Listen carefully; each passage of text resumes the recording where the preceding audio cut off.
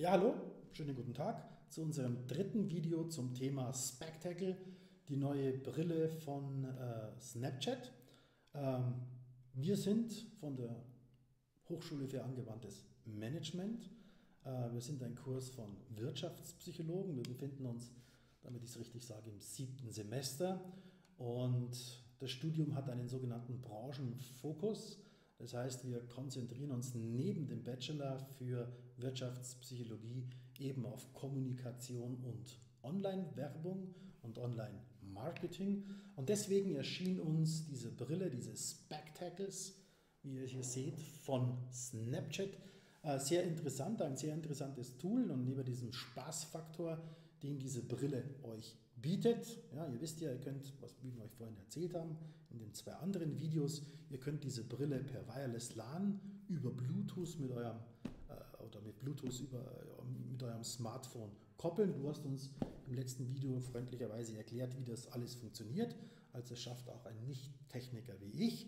Ähm, die Kamera hier, die in der Brille drinnen ist, äh, hat eben ungefähr ein Sichtfeld, müsst ihr euch vorstellen, von 115 Grad. Also es ist ein Weitwinkel und man kann mit dieser Brille, wie ihr dann seht, eben auch kleine kurze Videos, da haben wir gesagt, glaube ich, war zwischen 10 und 30 Sekunden. Ja, jedes Video ähm, dauert 10 Sekunden. Also man kann zwar mit der Brille länger filmen, aber auf dem Handy an sich äh, wird es immer in 10 Sekunden unterteilt. Okay, also wir haben diese kleinen Einheiten und da haben wir uns überlegt, wie könnten wir das hier in unserem Branchenfokus, wie könnten wir daraus ein Projekt machen und wie kann man eben das nicht nur zum Spaß nutzen, sondern wie könnten Firmen oder wie können wir als Wirtschaftspsychologen, als Markt- und Werbepsychologen, wie könnten wir diese Brille, wie könnten wir diese Filmaufnahmen und diese Brille, die Art und Weise, wie sie filmt, wie könnten wir die einsetzen. Der Vorteil ist, was für unsere Projekte hier auch sehr wichtig ist, dass wir eben nicht nur live streamen, das heißt, ich schaue, ob es funktioniert, wenn ich jetzt drauf drücke, müsste die Brille filmen, tut es. Mhm. Also unsere Kamerafrau, die uns hier freundlicherweise aufnimmt, äh, sieht natürlich jetzt hier durch dieses Leuchten, Achtung, da wird aufgenommen. Ähm, ein ganz, ganz toller Vorteil, denke ich, von Snapchat aus den Erfahrungen der Google-Brille gelernt, dass man eben nicht heimlich filmt, sondern offen die Flagge zeigt und sagt, Achtung, wir filmen jetzt gerade. Aber wie gesagt, das Schöne an der Brille ist, wir filmen nicht nur und können das live praktisch äh, in unseren Kanal, in unseren Snapchat-Kanal übertragen, sondern wir können diese Filme auch aufnehmen. Und äh, auf dem Handy speichern oder wie, wie funktioniert ja, wie ich speichere, genau. Ich speichere die dann auf meinem Handy und habe die dann in den Aufnahmen drin und kann halt dann ganz normal die auf Instagram oder auf Facebook hochladen. Okay. Ja. Oder herunterladen. So. Runterladen von Snapchat geht genau. ja klar, genau. Und genau das war ja eben wichtig für unser Projekt, dass wir äh, hier äh, Aufnahmen machen können aus Sicht desjenigen, der filmt, also aus der Ich-Perspektive. Und neben dem ganzen Spaß haben wir uns als erstes Projekt überlegt, naja, wie könnte man oder wo könnte man jetzt so eine Brille neben dem Spaßfaktor, wo könnten wir das einsetzen? Und da wir uns natürlich immer mit aktuellen Themen beschäftigen, die für Firmen draußen interessant sind, haben wir festgestellt, dass eben sehr, sehr viele Schwierigkeiten momentan beim Recruiting besteht, dass es gar nicht mehr so einfach ist, in spezielle Branchen eben Nachwuchs zu bekommen. Ähm, zum einen, weil natürlich die Firmen gewohnt sind, in klassische, stumpf gewordene Medien zu gehen, ähm, wo die Zielgruppe eigentlich gar nicht mehr vorhanden ist und dann eben aus Sicht des Unternehmens berichtet wird, wie toll es ist, in dieser Firma zu arbeiten, welche tollen Möglichkeiten das Unternehmen den, und, äh, den, den, ja, den Einzustellenden gibt. Und deswegen haben wir gesagt, wäre es vielleicht gar nicht schlecht, äh, aus Sicht desjenigen, der die Brille trägt, den, den man eben haben möchte, äh, dass der mal seinen Alltag beschreibt.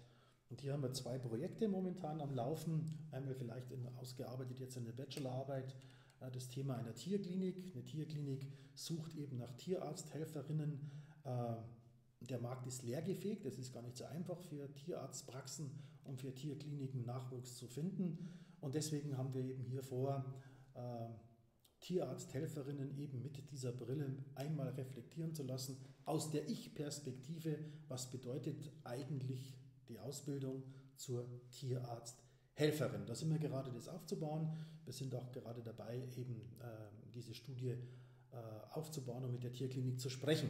Um aber selber Erfahrungen, erste Erfahrungen zu sammeln, haben wir für unser eigenes Studium aus der Wirtschaftspsychologie, unseren Branchenfokus, haben wir uns überlegt, wie können wir denn diesen Branchenfokus bewerben, wie finden wir Nachwuchs, wie finden wir Leute, die dann dieses Studium gerne machen würden. Und da haben wir gesagt, Mensch, dann lass uns doch gleich diese Brille einsetzen. Die Zielgruppe junge Menschen benutzen Snapchat, äh, können auch mit dieser Brille umgehen. Es ist ihr Medium und lass uns doch mal einen Tag an der Hochschule für angewandtes Management unseren Branchenfokus Online Marketing und Kommunikation und Werbung begleiten. Wie gesagt, der, aus der Ich-Perspektive das dann live streamen und dann eben das zusammengeschnittene Material eben dann auch auf unsere Internetseite äh, zu stellen, um ein bisschen einen Einblick in den Kurs zu geben. Und das war eure Aufgabe. Und ja, erzähl mal so ein bisschen, wie seid ihr dabei vorgegangen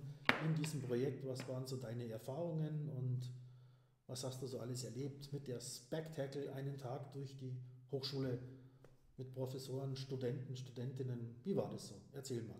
Ja, also vom Grundsatz her ähm, haben wir uns sehr auf das Projekt gefreut, weil es ja schon cool ist und sehr modern und wir auch alle Snapchat selber privat nutzen. Mhm. So, und am Anfang war es ein bisschen peinlich, ehrlich gesagt, weil alle dachten, wir sind jetzt so eine Art Bildungsblogger oder so, aber wir haben dann ähm, im Rahmen der Vorlesung, wo wir Präsentationen halten müssen, auch Bescheid gesagt, dass wir filmen und mhm. dass wir das mit dir machen und dass das für eine Studienarbeit ist und was halt dahinter steckt. Also das heißt, wenn ich dich unterbrechen darf, das heißt, wenn wir solche Sachen einsetzen, jetzt für Forschungstätigkeiten, für Employer Branding oder was auch immer, äh, trotzdem, dass die Brille natürlich anzeigt, dass sie filmt, müssen wir natürlich äh, dann eben vorher die Menschen, die wir aufnehmen, sei es jetzt an der Hochschule, sei es Kollegen oder sei es eben dann vielleicht in der Tierarztpraxis oder irgendwo anders, die Leute eben darauf hinweisen, Achtung, wir wollen gerade filmen für den und den Zweck.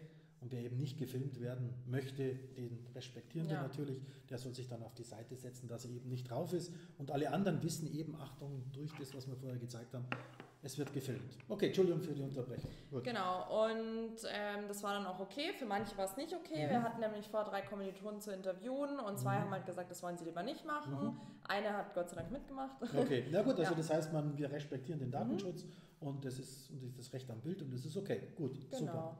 Ja, und ansonsten haben wir uns halt im Vorhinein überlegt, was wir filmen. Wichtig war halt ähm, die Hochschule betreten, Klassenraum betreten, wir haben einen Vortrag gefilmt, wir haben halt gefilmt, wie es halt wirklich ist. ist. Mhm. Ja, also dass halt man vielleicht auch erstmal sein Frühstück auspackt mhm. und mit anderen quatscht und mhm. genau. Und dann haben wir natürlich noch einen kleinen Tipp reingebracht, so halt als kleinen Gag, wo mhm. man am besten bei uns Kaffee trinken gehen kann. Also nicht die Hochglanzbeschreibung genau. oder nicht das, was eine Hochschule normalerweise zur Werbung für sich selber ähm, publizieren, posten oder in Prospekten darstellen würde, sondern einfach mal so ein echter Ablauf genau. als Student und Studentin, wie geht es dazu, ohne Rücksicht auf Verluste, auch mit ein bisschen Spaßfaktor, so wie es halt ist, mal unter die, hinter, die, hinter die Kulissen gucken, ja. weil also unsere Überzeugung war, dass das dann für die Leute ist, die sich überlegen, soll ich hier studieren, soll ich, wir haben ja unser sogenanntes Blended-Format, das heißt semi-virtuell, was ja interessant ist für Leute, die berufstätig sind, dass sie nebenbei studieren, weil wir an unsere Hochschule ja immer nur blockweise pro Semester kommen. Der Rest passiert bei uns immer online. Das heißt, da mal so einen Einblick zu geben, so einen echten Einblick zu geben, das war die Intention, ähm, um eben hinter die Kulissen zu gucken und eben nicht diese Hochglanz-Prospekt-Nummer, äh, die dann sowieso wahrscheinlich niemanden überzeugt. Ja, und was waren sonst so die Erfahrungen über den Tag hinweg? Ja, genau. Also wie gesagt, negativ aufgefallen ist halt, dass ich, wenn ich sie länger nicht benutzt hatte und das nicht mehr mit meinem Handy verbunden war, ich das komplett den Vorgang, den ich im letzten Video beschrieben habe, nochmal machen musste. Okay, dann musste ich das immer wieder einwählen. Ja, also ich vom Grundsatz her so oft habe ich es nicht gemacht, aber wenn man es wirklich halt mal eine Stunde liegen lässt und halt nicht mehr connected mhm. ist, dann muss man es neu verbinden. Okay, wahrscheinlich aus Stromsparungsgründen. Ja, schaltet sich das von genau, selber an, aber geht in den Modus. Äh, war jetzt nicht so schlimm. Okay. Ja, und mit Lichtverhältnissen oder sonstigem hatten wir eigentlich gar keine Probleme, wobei ich halt auch sagen muss, es war sonnig, es war hell und es mhm. hat alles gepasst. Aber ihr habt innen gefilmt, also selbst ja. das hat funktioniert. Ja. Also nicht nur draußen, sondern mhm. auch in den Räumen in ja. der Universität konnte man mitfilmen und äh, genau. Und gleichzeitig wird der Ton aufgezeichnet. Das heißt, du brauchst kein extra Mikrofon, das irgendwo steht, sondern Es reicht die Brille, genau. dass die Tonqualität. Natürlich muss man Abstriche machen, das haben wir auch gesehen. Das kann man natürlich nicht mit einer Hightech-Kamera vergleichen. Ähm, aber das ist ja gar nicht gewollt, sondern es ist eher dieser, dieses Look and Feel vom Midstreamen. Ein bisschen verwackeln ist auch nicht so schlimm. Mhm. Es soll halt sehr authentisch sein und soll authentisch rüberkommen. Und wie gesagt, für mich als, als, als, als Werbepsychologe ist halt interessant diese Ich-Perspektive. Natürlich werden viele Einwand, an, an den Einwand haben, naja, die Leute wissen ja jetzt, dass sie gefilmt werden. Auf der anderen Seite derjenige, der die Brille jetzt aufhat, der weiß ja auch, Achtung, ich muss jetzt so und so gucken, weil jetzt sieht ja irgendjemand, wo ich hingucke. Aber ich denke, diese ganzen Argumente, die kann man hier vergessen. Die hat man damals bei dem Eye-Tracker, das kennen die meisten von euch gar nicht, wo man so in den Anfangsjahren mit dem Eye-Tracking begonnen hat. Da waren das solche Helme, wo man dann gesagt hat, komm, geh jetzt mal damit einkaufen, geh in den Store, schau mal, was dir gefällt, guck da mal hin. Und man hat dann eben mit einem Einkaufswagen mit den Leuten mit Videorekordern hinterhergefahren, so ein Helm auf dem Kopf, das waren dann die Eye-Tracker und hat dann eben versucht äh, mitzufilmen und mitzugucken, wo schaut er im Laden hin, wo guckt er im Am Point of Sale überall hin. Ähm, aber selbst da haben wir festgestellt, ähm, dass eben über die Zeit, über die, über, die, über die Zeit hinweg die Leute wirklich vergessen, dass sie jetzt selber dadurch, dass sie filmen, letztendlich beobachtet werden. Und so wie das jetzt ist, also ich bin total begeistert, weil ich, wie gesagt, diese Eye-Tracking-Maschinen am Kopf noch miterlebt habe. Das ist eine stinknormale Sonnenbrille, sie trägt sich auch so, sie ist extrem leicht. Ähm, ich habe jetzt schon tausend Ideen, wofür man das eben auch als Wirtschaftspsychologe einsetzen kann. Denkt nur an die Anwendungsmöglichkeiten am Point of Sale. Ähm, ich bin dann zwar nicht so genau äh, mit dem Fokus wie mit einem Eye-Tracker, wo ich genau schauen kann, wo sind die Fixationen, wo sind die Haltepunkte, wo sind die Sprungmarken, also die Sarkaden, aber ich kriege einen Gesamteindruck und ich sehe, was inspiriert den Menschen, der die Brille hat, aus der Ich-Perspektive. Also für mich ein irres, tolles Anwendungsfeld, das wir da jetzt machen. Ja, und was passiert jetzt mit den Videos, die ihr hier gesammelt habt in diesem Tag für dieses Projekt? Wo kommen die jetzt hin? Was passiert mit denen? Also als erstes Mal wollen wir es zu einem großen Video zusammenschneiden, okay. damit man halt das als ein Video betrachten kann. Und das kommt jetzt dann auf die Institutsseite, wo wir eben mhm. den Branchenfokus bewerben wollen. Okay. Damit sich halt derjenige, der sich erkundigt diesbezüglich, einfach das Video anschauen kann und sich denkt, hm, ja, cool, vielleicht kommt auch so eine Art Wir-Gefühl auf. Mhm. Sich denkt, ah, genauso ist es bei mir in der Schule auch. Mhm. Ah, ja, die sind ja lustig drauf und ist mhm. gar nicht so stressig, wie ich das immer dachte. Mhm. Ähm, ja, das genau. ist ein genau. guter Punkt, den du, an, den du gerade ansprichst, weil ich glaube auch, äh, dass die Erwartungshaltung, wenn jemand jetzt zum Beispiel einen bestimmten Job machen will oder wenn jemand jetzt Wirtschaftspsychologie oder Kommunikation und Werbung studieren will, er hat eine gewisse Erwartungshaltung. Und ich glaube halt auch, dass solche Medien der herkömmlichen klassischen Werbung, die ja dann durch tausend Prüfstellen durchgeht an der Hochschule, ist das alles richtig, was gesagt wird, ist das rechtlich richtig, äh, darf man das so ausdrücken. Es ist halt alles ein bisschen, ja, es ist alles äh, überprüft. Und das ist halt meines Erachtens authentisch.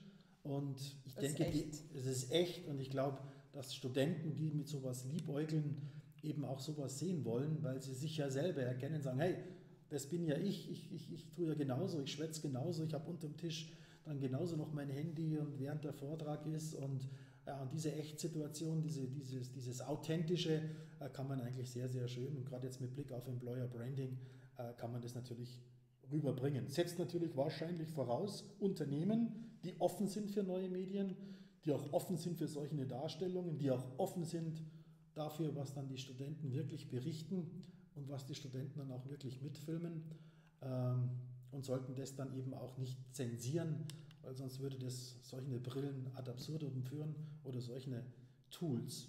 Ja, also wie gesagt, wir sind sehr gespannt an der Hochschule, mit was Snapchat noch alles nachlegt. Wie wir vorhin schon mal gesagt haben, soll ja auch Augmented Reality jetzt in Zukunft dazukommen.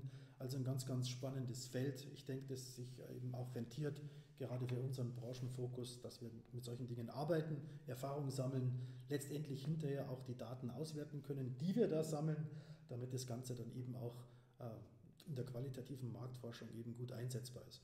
Ja, hast du noch irgendwie eine Ergänzung zu dem Projekt oder was dir aufgefallen ist? Ja, also wie gesagt, mir ist halt aufgefallen mit dem immer wieder Neukoppeln, das ist mir negativ aufgefallen. Okay, Ansonsten, also technisches Problem. was äh, cool wäre, da es ja eine Sonnenbrille ist, äh, wenn man jetzt viel innen filmen möchte, Mhm. dass man vielleicht eine Fensterglasbrille hat oder, Okay. also man muss jetzt nicht mit Stärke arbeiten Mhm. natürlich, aber es ist schon dunkler und Okay. wenn man dann in einem Raum sitzt, der vielleicht sogar noch abgedunkelt ist, gerade wenn eine Präsentation gehalten wird oder so, Okay, dann ist es für den Filmer Ja, für den Filmer ein bisschen schwierig, wenn er jetzt mit den Ja. getönten Gläsern Ja. arbeitet. Okay, ich denke auch Snapchat wird es mit Sicherheit lösen und wird mit Sicherheit auch andere Gläser anbieten. Und gerade für unsere Forschungsprojekte, wenn, wenn das ein Hindernis sein sollte, wir werden uns ja mehrere solche Brillen zulegen, dann können wir natürlich auch äh, hier von einem, von einem Uhrmacher, hätte ich schon gesagt, von einem. Optiker eben einfach ganz normale ja. Gläser äh, einsetzen lassen. Plastikgläser, das ist kein großes Problem. Ja, das war's schon wieder. Vielen Dank fürs Zuhören, für unser Projekt Snapchat Spectacles. Und wie gesagt, zwei Videos haben wir vorher schon gedreht. Wenn es euch interessiert, schaut euch das an. Und ja, wir würden uns freuen, wenn ihr dann in den Branchenfokus zu uns kommt.